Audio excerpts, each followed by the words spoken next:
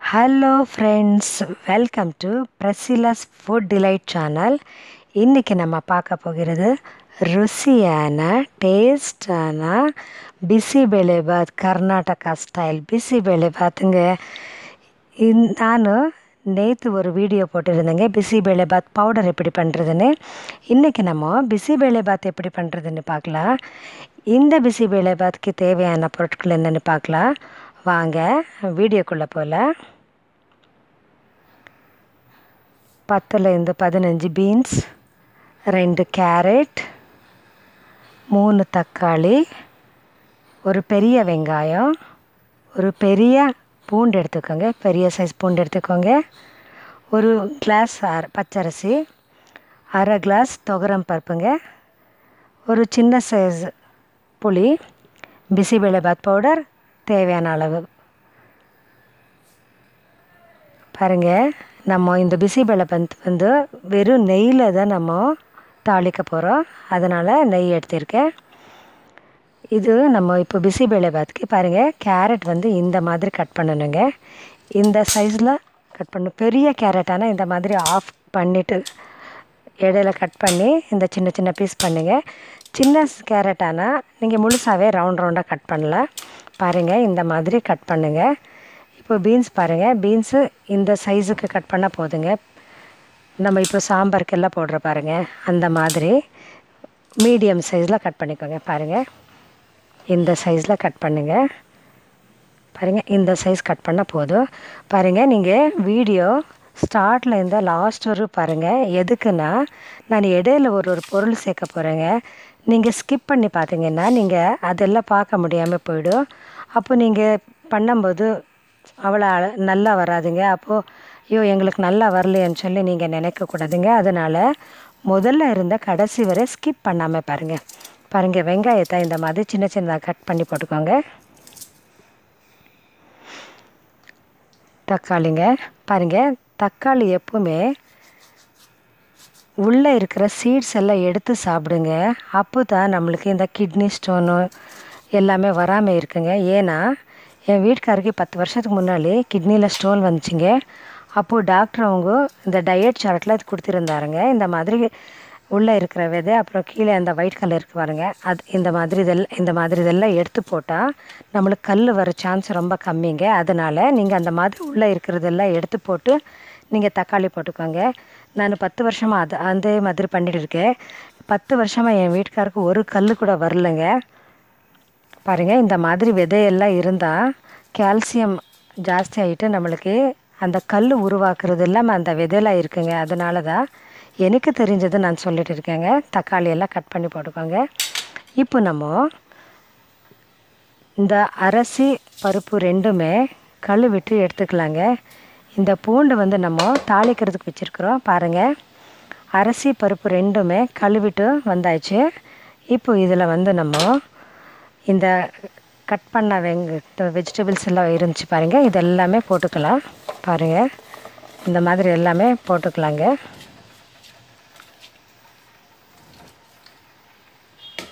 இப்போ இதுக்கு நான் ஒரு கிளாஸ் அரிசி அரை கிளாஸ் பருப்பு எடுத்திருக்கேங்க.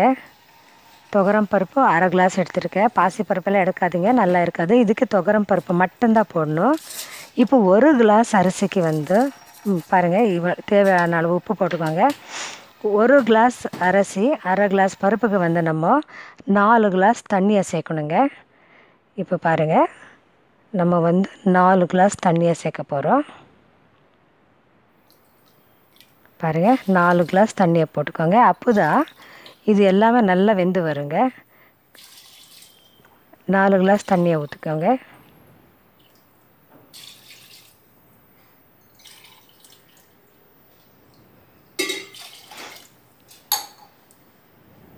நாலு கிளாஸ் தண்ணியை ஊற்றி நம்ம இதை இப்போது மூடி வச்சுட்டு விசில் போட்டு ரெண்டு விசில் அடி அடிங்க. ரெண்டு விசில் போதுங்க இதுக்கு. ஜாஸ்தி ஆயிடுச்சிங்கன்னா ரொம்ப குழஞ்சிடும். அதனால் ரெண்டு விசில் போதும். பாருங்கள் ரெண்டு விசில் போட்டாயிடுச்சு. இப்போ நம்ம எடுத்து பார்க்கலாம் எப்படி வந்திருக்குன்னு. பாருங்கள் இந்த மாதிரி வெந்திருக்குங்க இது. ரெண்டு விசிலுக்கு இவ்வளோ வெந்திருக்கு பாருங்கள் பாருங்கள் நம்ம பக்கத்தில் வந்து ஒரு நாலு கிளாஸ் தண்ணியை போட்டு கொதிக்க வச்சுக்கோங்க. ஏன்னா இந்த பிசி பேலை பாத் வந்து பாருங்கள் இது கட்டியாக வெந்திருக்குங்க. இது பிசி பேலை பாத் வந்து கொஞ்சம் தண்ணியாக கொல கொலன்னு இருக்குது நம்ம பொங்கல் இருக்குது பாருங்கள் அந்த மாதிரி இருக்குது பாருங்கள் இந்த மாதிரி மிக்ஸ் பண்ணி தக்காளி மட்டும் நீங்கள் கொஞ்சம் ஸ்மாஷ் பண்ணிக்கோங்க. வெஜிடபிள்ஸ் எல்லாம் ஸ்மாஷ் பண்ண போகாதீங்க.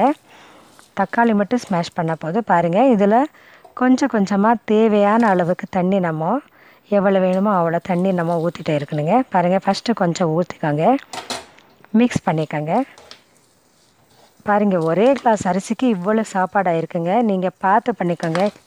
நீங்கள் ரெண்டு பேர் யாரான வீட்டில் இருந்தால் நீங்கள் ஒரு அரை கிளாஸ் போட்டால் போதுங்க. இல்லை ஒரு கிளாஸ் பெரிய கிளாஸில் போட்டிங்கன்னா நீங்கள் ரெண்டு நாள் சாப்பிட வேண்டியதாக போயிடும். இல்லைன்னா வேஸ்ட் ஆகிடும் பாருங்கள் கம்மியாக போட்டுக்கோங்க நீங்கள் பார்த்து பண்ணிக்கோங்க. ஏன்னா இது ஜாஸ்தி ஆகிடும் நம்மளுக்கு. இப்போ நம்ம பிசிபேளை பாத் பவுடர் இருக்குது பாருங்கள் இந்த பவுடர் வந்து நாங்கள் பெரிய ஸ்பூனில் ரெண்டு ஸ்பூன் போட்டுக்கிறோங்க. உங்களுக்கு இது டேஸ்ட் பண்ணி பார்த்து பத்தலைன்னா நீங்கள் எக்ஸ்ட்ரா போட்டுக்கலாம். இப்போ பாருங்கள் புளியை வந்து பாருங்கள் புளி கொஞ்சமாக ஊற்றுங்க ஜாஸ்தி ஊற்றாதீங்க ஜாஸ்தி ஊற்றினா அவ்வளோ நல்லா இருக்காது. பாருங்கள் இவ்வளோ ஊற்றினா போதுங்க புளி. கட்டியாக ஒரு ரெண்டு ஸ்பூன் ஊற்றினா போதும்.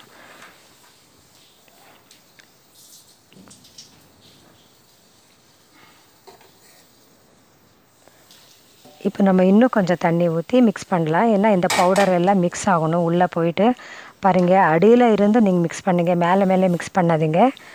கீழே இருந்து மிக்ஸ் பண்ணுங்கள் பாருங்கள் இந்த மாதிரி நல்லா மிக்ஸ் பண்ணாதான் நம்ம இந்த பவுடர் பிசிபேளைபாத் பவுடர் போயிட்டு எல்லா இடத்துலையும் மிக்ஸ் ஆகுங்க பாருங்கள் இன்னும் தண்ணி ஊற்றிட்டே இருக்குங்க. நீங்கள் மிக்ஸ் பண்ண பண்ண அந்த தண்ணி உறிஞ்சிட்டே இருக்கும். அதனால் நம்ம தேவையான அளவு வர வர நம்ம தண்ணி ஊற்றிட்டே இருக்கணும் பாருங்கள் இந்த மாதிரி மிக்ஸ் பண்ணிகிட்டே இருங்க. பாருங்கள் தக்காளி எப்படி வந்தால் ஸ்மாஷ் பண்ணிக்கோங்க. நீங்கள் இப்போது இதில் உப்பு காரம் எல்லாம் டேஸ்ட் பண்ணி பாருங்கள் பத்தலைன்னா நீங்கள் போட்டுக்கோங்க. பாருங்கள் நம்ம நெய் ஊற்றிட்டு நம்ம தாளிக்க போகிறோம் இந்த கொஞ்சம் கடுகு போட்டுக்கலாம். இந்த பூண்டு வந்து பெரிய பூண்டை எடுத்துகிட்டு நீங்கள் நசுக்கி போடுங்க. இதுக்கு பிசிவேலை பார்த்து டேஸ்ட்டு வந்து அந்த பூண்டில் தான் பாதி அடங்கி அடங்கியிருக்குங்க. இப்போது இது பாருங்கள் பூண்டு போட்டு நசுக்கின பூண்டு போட்டு நல்லா வறுத்துக்கோங்க. இதோட சேர்த்து கொஞ்சம் கருவேப்பிள்ளை போட்டுக்கலாம். வறுத்துக்கோங்க. இந்த பூண்டோட கொஞ்சம் பச்சை வாசனை போகிற வரை வறுத்துக்கலாம் நம்ம.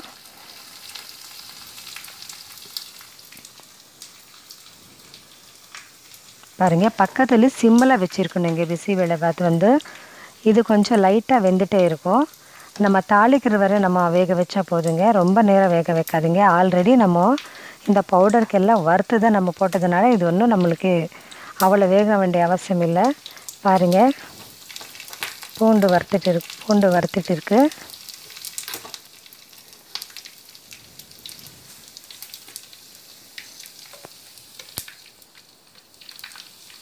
இதில் நம்ம இப்போது கொஞ்சமாக தான் பெருங்காயம் போட்டுக்கலாங்க. ஜாஸ்தி போடாதீங்க. கொஞ்சமாக போட்டால் போதும் பாருங்கள் போட்டு நம்ம